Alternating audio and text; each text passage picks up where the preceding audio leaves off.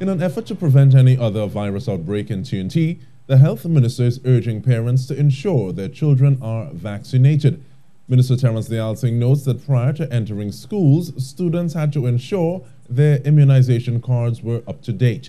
But since children are not required to physically attend schools this term, he fears that these students may not be vaccinated.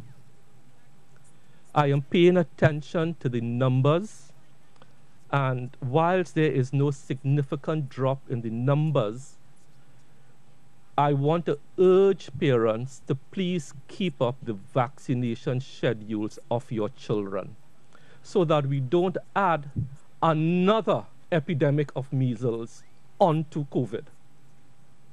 Meanwhile, Chief Medical Officer Dr. Roshan Parasram says all protocols would be adhered to at the various health centers and assures that it would be a quick process of course, your children um, will be immunized as quickly as we can and we will get them back out.